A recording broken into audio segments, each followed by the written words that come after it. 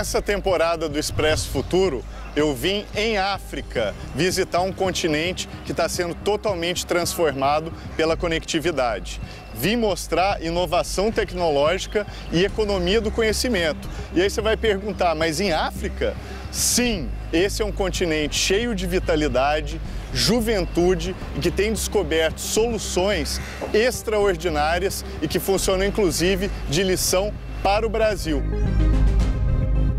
tem muito projeto legal e interessante que olha para o futuro aqui. E é isso que a gente vai ver nessa temporada do Expresso Futuro.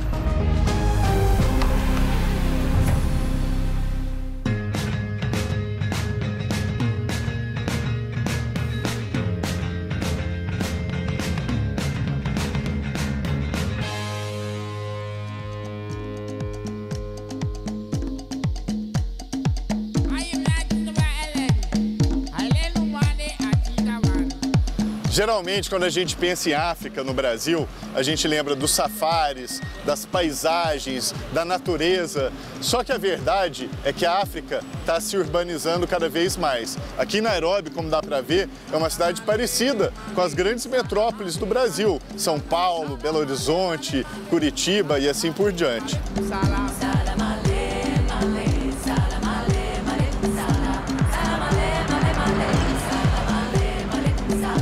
Outra coisa importante. Quando a gente pensa em África, não é correto a gente pensar numa coisa só. Pelo contrário, África é um continente de grande diversidade, muitos povos, muitas culturas. Cada lugar é uma história, uma forma de viver, um costume completamente diferente. Então a gente precisa mudar a forma como a gente enxerga a África. A África hoje é um lugar de vitalidade, transformação e, por que não dizer, de urbanismo que avança cada vez mais. Every five seconds, there is a startup being started in Nairobi. It's quite the vibrant scene when it comes to startups, especially in the tech space. Infelizmente, há vários cenários né, que as cidades africanas são muito pobres ou que as cidades africanas não têm o mesmo potencial que as cidades na Ásia têm ou na Europa. Mas acho que Maputo tem não só a parte turística, mas a parte de conhecimento, a parte de inovação. We have just another way to proceed, another way to talk. We, here we pay with mobile money. when in Europe we pay with card, credit card, etc. So we already advanced in so many things. People don't have a bank account, but they have a bank account on their phone, you know, like so it's really modern and sometimes it's really old school. I don't know. I feel like I'm back in the future all the time. I don't know. I think people don't don't imagine the skills and the talent here. They imagine just poor people, uh, you know, begging sometimes for money. But it's not true. Like we have multi-talented people, a music artist, a visual artist. You have like great school. There is a lot to improve, of course. It's just like, what do we choose to highlight?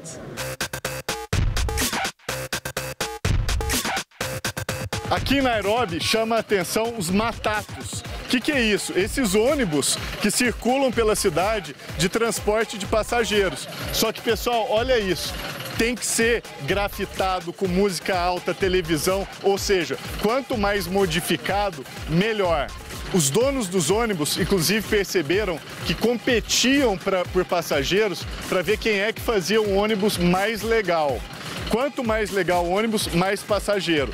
Foi preciso o governo intervir para falar, pessoal, isso tem limite, vamos parar com isso. Só que aí sabe o que aconteceu? Os passageiros reclamaram e teve que voltar tudo do jeito que era. Quanto mais bacana o ônibus, mais passageiro. Aliás, vem comigo, vamos ver como é que é lá dentro.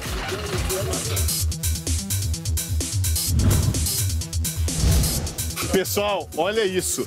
TV de LED em tudo quanto é lugar, grafite, cartazes, música alta. É como se fosse uma festa ambulante no caminho do seu trabalho. Inclusive, eu topei com a minha amiga Irene, que está aqui justamente andando no Matato. Hi Irene, how are you? Very good to see you. Excellent. Irene, Yeah. where are we now? We're in Nairobi in an area called Ngong Road. This is our public transport. They come pimped up people go to work like in a party, right? Exactly. They go to work in a party and they go to parties in a party. we call it the moving discos. yeah. Irene, when people are in the Matatus, do they find like a, a boyfriend or a girlfriend too sometimes? Oh, easily. Imagine we're sitting right now and start having a conversation about a film maybe we're watching and then we start connecting. We just talk politics as well. Funny enough, the whole Matatu would be discussing about the same topic. It's almost like a public square on wheels. Pretty much, pretty much. You sometimes don't even want to get to your next stop So people just keep going. Sometimes they miss their, their stop. Like, because you're engaged in Yeah. the communication.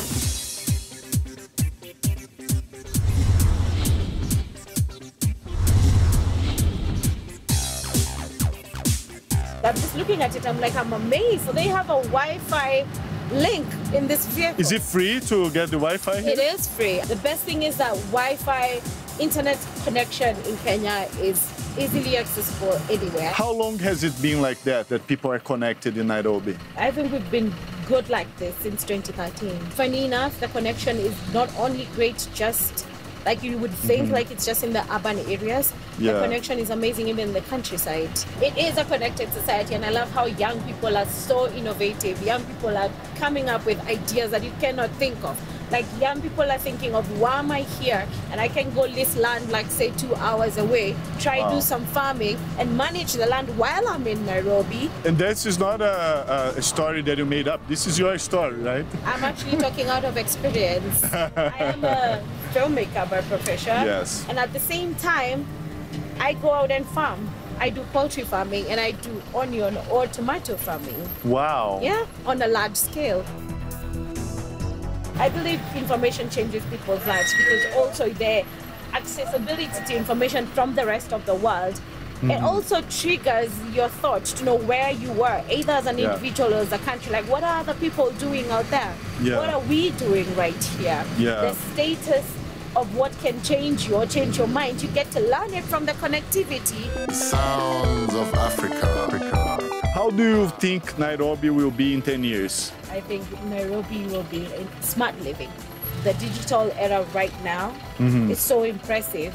It's blowing my mind just imagining 10 years from now. Yeah. And there's a lot of young entrepreneurs, right? Opening startups and companies. Startups, I want to believe, open up every other single day. Every other single minute, startups open. Like I said, the system doesn't provide. What I love about the young in Kenya, we just mm-hmm. don't sit and wait. We just don't sit and complain, or we just don't look for shortcuts. Yeah. Become so innovative. So there's a lot of opportunity There's coming. a lot of opportunities that people uh. think about. Like I can't believe that we could do this without the connectivity. We cannot do this without the technology, without having a phone, a smartphone. That's it. I can do this from my home because I have a phone and I have Yeah. a connection.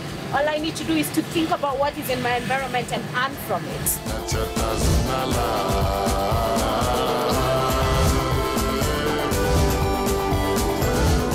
Pessoal, isso aqui é uma festa ambulante. Eu queria ir para o trabalho todo dia dentro de um matato desse. É outra vida. Do you think the matatus are a symbol of the connected society in Kenya? I believe they are. They are a symbol of the connection and the sense of community we have in Kenya. Digital technology and community, right? Connection of all those. That's so good.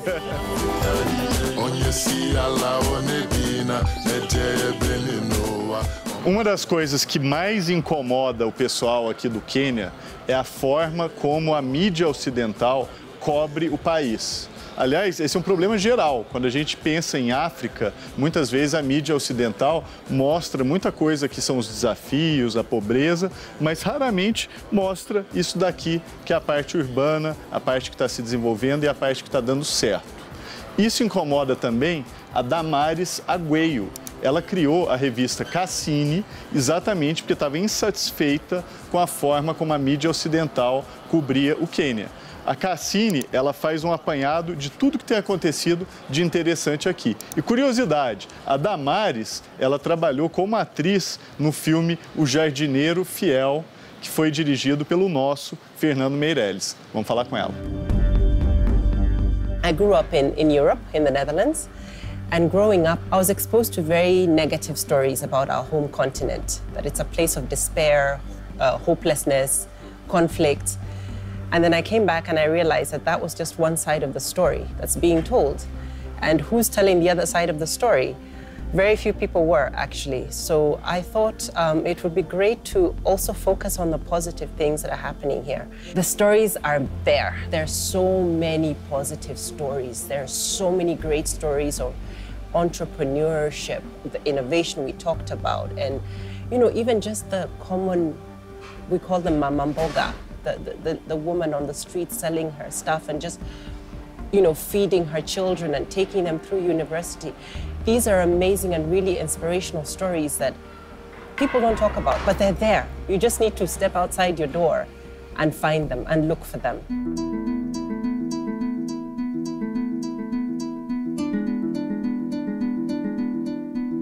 Essa aqui atrás é a favela de Kibera, uma das mais populosas da África. Fica aqui em Nairobi e quando a gente pensa no continente africano, muitas vezes o que vem à cabeça são imagens como essa. No entanto, precisa olhar no detalhe, porque apesar daqui ser uma área pobre, se a gente olhar no horizonte, tá cheio de poste de Wi-Fi, trazendo uma conectividade excelente, fazendo com que todo mundo aqui esteja conectado. Inclusive, a gente testou a conexão aqui e é melhor do que muitas das conexões que a gente tem no Brasil por celular. E lembrando, conectividade é pilar para o desenvolvimento. E nisso o continente africano está avançando muito. If you've only ever known something from where you are, it's difficult to have a different mindset. But with the internet, I mean, you can access And luckily in Kenya, the internet penetration is great, you know. Pretty much everyone can access the internet and pretty much everyone has a smartphone. So that helps a lot in, in changing mindsets and having people have a broader outlook. It's so important to know who you are and where you come from. I can't overemphasize that.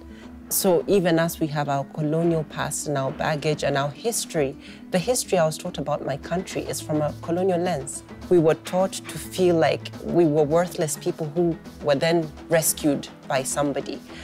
And it's simply not true. The other side of the story was never taken into account, it was never written. And if you dig, just dig a little deeper and you find these nuggets and you talk to elders in society, you find that it's a completely different story. And if you grow up believing that, that you were this worthless person, then you end up perpetuating the same narrative. Like, I'm not good enough, you know? But if you're empowered with your story and you know your culture and you are strong in that, then you show up strong in this world.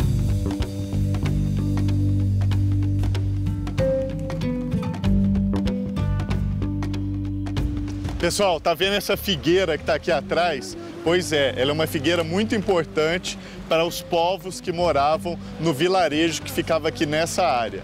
Hoje, aqui é o bairro de Westlands, um dos bairros mais novos de Nairobi, onde está cheio de prédio, inclusive de empresas de tecnologia, centros de pesquisa e uma área muito nova. E foi interessante, tentaram cortar essa árvore, só que não deixaram. Tiveram, inclusive, que construir tudo em volta dela, preservando, inclusive aquele viaduto lá, porque essa árvore é muito importante para as populações daqui.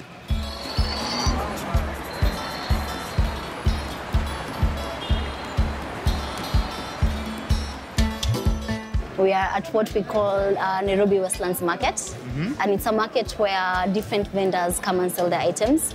But more importantly, on this floor, we have artisans or creators of what we call African cultural heritage items. And these are very special and maybe unique items, right? Yeah, actually, majority of the items made here are handmade, and they're made by artisans who are very uh, traditional techniques that they have learned from their fathers. They've been passed down the line. And you have created something that goes beyond tradition, right? Which is Mau.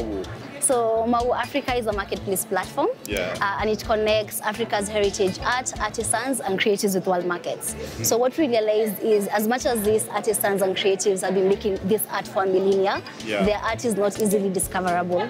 So we made their platform, we made a platform where we can list their items, and uh, people across the world can be able to discover and buy these items. What normally happens is, for example, an artisan like this that is doing uh, fashion items, They can go to the platform, create an account, they get an uh, storefront, what you call a website, and then we help them market and uh, connect them with either businesses or sometimes consumers like yourself that want to buy these items. This has been an idea that has been brewing over the years. I've always been a creative. I have been a rapper, a fashion designer, a writer, but I've always wanted to be in the creative arts. So after a while, I gave up and uh, joined fintech and worked in fintech for a while. So when COVID hit and some of the artisans used to buy from called us and they were like, oh, we can't sell in markets anymore. Yeah. You guys have customers we can sell to? Because my co-founder worked uh, at Jumia, which is one of the biggest uh, e-commerce marketplaces in Africa. Yes. She had the idea of how do we come up with a platform where actually now it will be easy for artisans to, to also sell their items since they can't go to the physical markets anymore. So what we also do is add the stories on the website. So Yeah. also when you buy, you connect to the story. So you oh. understand how it was used in African culture, just to preserve those traditions and the fact that you're telling those stories gives more life to the vibrancy of the culture that we have here. I'd love to show you one of these very unique stalls. All right. And these are arts that have been collected all across Africa. So they, they have historical, how they were used. Wow. Then we have the traditional ceremonial forms. Oh, These wow. were from Congo. All different tribes, but they have different celebrations. So we have like those, we have, uh, we call them the marimba. Oh, you We can call them farm piano. Sure. These are marimba from uh, Congo. You can actually play. Oops. Yeah, yeah. Oh my God. Pray. This comb, you see now, this is a different comb. We have the comb, the comb from uh, the Dinka. Esse aqui é um pente feito de osso, tá pessoal? Vem da tribo Dinka, que fica no Sudão do Sul. Incrível. If, even if you go to the website, you ask, you, are, you, you, you download Dinka tribes, the comb is. So some of these you can actually buy online now. Yeah, yeah, yeah. That's fantastic. Yeah, everything you can buy online, all this. Wow. What, all what is needed is we have the photos. These are called the, the handrests. They use like pillow. Oh, So when, when they braided their hair, they didn't want to sleep flat to destroy it, so they sleep on this like that. So they call the necklace or a pillow. Isso aqui é incrível, pessoal, porque o pessoal que está com o cabelo arrumado ou não quer desarrumar o cabelo, pode deitar em cima disso aqui e não não vai desarrumar. Esse aqui é Maasai, aqui próximo do Quênia, e esse aqui é para armazenar leite. Inclusive eu cheirei aqui, ó, e tem cheiro de leite. Is this made from a, a It's tree? a, it's a fruit. It's a fruit. How did you do the development of the software, the web page? Was it easy to do it from here? My co-founder has a large IT background. She is very good at coding and creating platforms, so she was able to do that. But more importantly, Kenya is known as the, as the Silicon Savannah of Africa, so internet is very easily accessible. Uh, guys are educated enough to learn how to use digital plan, uh, platforms. Payment platforms like M-Pesa have disrupted the whole payments industry. So working in this uh, tech hub, which is Nairobi, is it's quite easy. There's a lot of support even from the states to establish a tech business. Oh, we, we envy you so much for Yeah. that. Like, you see, Brazil, we, we can do better. Tell me about being an entrepreneur and a woman here. Uh, how, how does it work? It's actually quite interesting because right now there are a lot of opportunities for female founders. There are funds that are being put aside. You're finding there are mentors that are willing to put in their time to mentor female founders. So there are a lot of female uh, entrepreneurs that are doing amazing work in Kenya, but not only in Kenya, all across the continent we are seeing female founders actually coming up and coming up with a very amazing businesses. Yeah. That's so good. This is from West Africa, right? Yes, from West Africa. If I wear it, people won't be upset with me. Like, uh, no, people will like that I wear People it, will right? like it actually. Okay. They'll admire your creativity because this is just a shirt and you have done the patchwork. That's amazing. Yes. So nice, so nice. So, é minha, levar. I'm going to take this.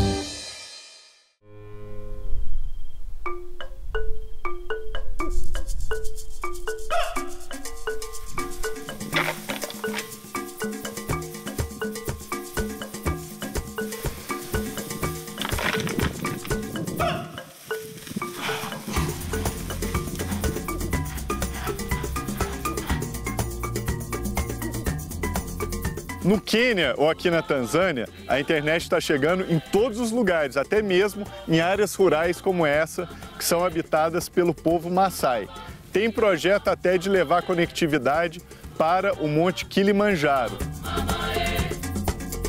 Here we are now is on the crater floor of Empakai. In the in the time to come, the Yes. government is planning to do all the developments to make sure that uh, the network communication will also be available here in the crater. They told me that they're even planning to do it at Kilimanjaro, right? Yes, they did it. They Oh, did it really? already, yes. So when you go Uh-huh. to Kilimanjaro, you will get internet uh, and you will be able to stream live from there uh, on top of the mountain. Very good. Yes. And do you think it has changed people's lives in Tanzania for better? Yes, actually, it has changed a lot of people's life because uh, people can uh, communicate easily, Yes. as well as uh, they can help their families, like uh, you know, transferring money through uh, mobile applica- applications. So people feel free wherever they are to send the money, to receive the money from everywhere, from their families, from their friends. Yeah, that's it. O problema aqui não é mais conexão, é carregar o celular. Aqui não tem energia elétrica. Mas isso também está resolvido. Sabe como? Com painéis solares que estão sendo colocados até mesmo em cima de casas de pau a pique. Shinoi, you are Maasai, right? Yeah, I'm a Maasai. Can you explain what is Maasai for the Brazilian people? So Maasai is the one of the tribe found in Tanzania. So here in Ngorongoro, this is the this is the place where, where you can find the Maasai tribe. So the Maasai use cell phones now? Yeah, so we use a cell phone. And did the cell phone change the way of life? No. Yes, a little bit changing, but it's not that like much. It's Uh-huh. changing for the people who go to the school. Yeah. Because the people who go to the school and the people who having a job, they- Yeah. they're able to buy the smartphone. Yes. So if you have the smartphone, you can use it like social media, like Instagram, WhatsApp. Yes. So nowadays you can find the young people in the Maasai who having smartphone. Right. Yeah. But it's possible to live the way the Maasai live and have a cell phone. It's okay, right? Yes, it's, it's okay, but the problem is charge. Uh-huh. Because you know sometimes the phone they running on charge, so you need Yeah. to charge it, and Yes. also you need to pay for charging the phone. Oh. Yeah, because people they don't have the they don't have the, there- there's no electricity here. Uh-huh. So the people, some people they have like solar panel. Yes. So the people who have the solar panel, they're the one who charging phones. And then you pay them for it to yeah, charge. you pay. Yeah, you pay for the. So you don't have electricity in Maasai you don't area? have the electricity in the Yes. Area. How many languages do you speak?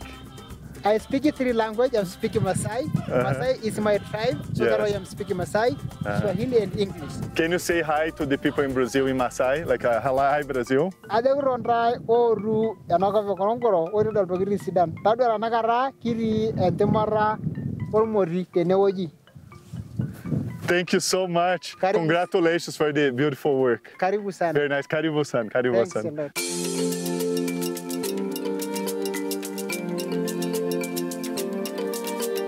Everything comes from a story. The stories we're told, the stories we share, the stories we believe, the stories we challenge.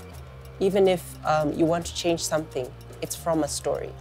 So for me, I feel like we're bringing to the fore new narratives, but also challenging old narratives and getting people to talk about things that maybe they would not normally talk about.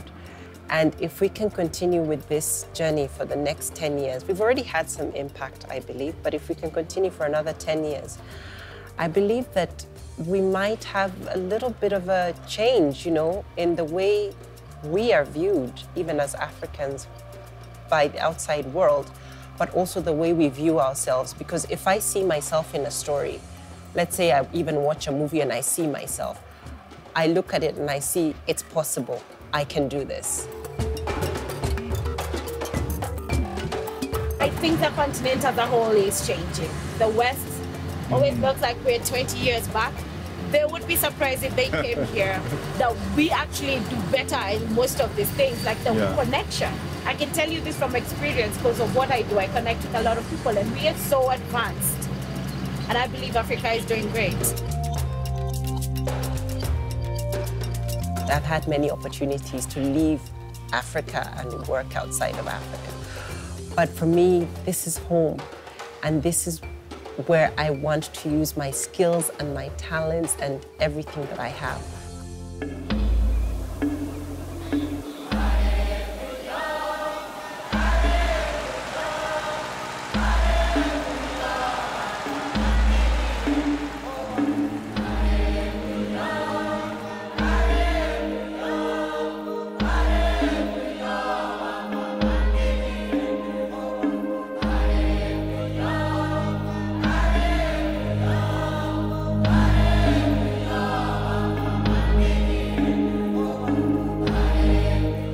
Pessoal, igual esse balão que a gente está aqui agora, a África está voando.